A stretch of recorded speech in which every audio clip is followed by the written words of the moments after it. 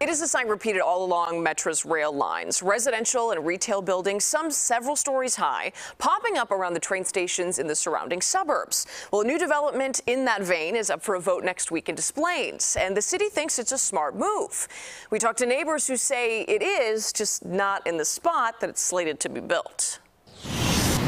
The surest sign of a well loved neighborhood is the longevity of those who call it home. 21 years. Since 2003. We've lived in Des Plaines 21 years. But their pride in their city is being put to the test. We were pretty surprised, shocked, I think would be the term. By an effort to build up Des Plaines downtown. What they're trying to do is shoehorn 10 pounds of mud into a five pound bag.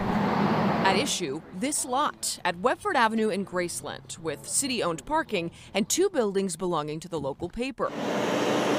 Aldermen have given initial approval to change the zoning for this $35 million development, a seven story mix of residential and retail with 131 units and a restaurant downstairs. And back along the railroad tracks. All over these there, neighbors can see, along with others opposed across the city, are safety concerns. Given the high, greatly increased traffic that there would be from the, the building now going in and the building they're proposing, we consider this to be a highly dangerous site.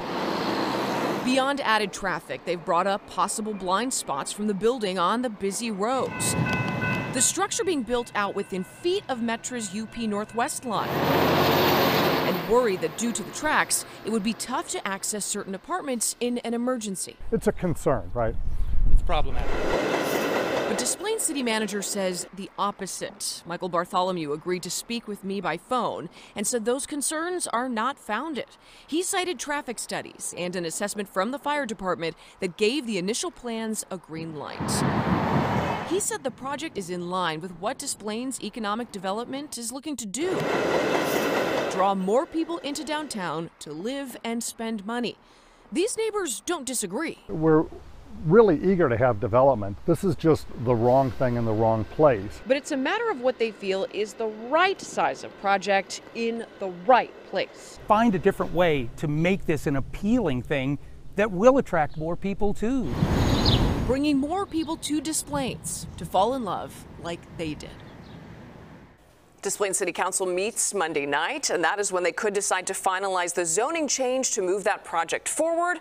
Those against the plan plan to attend.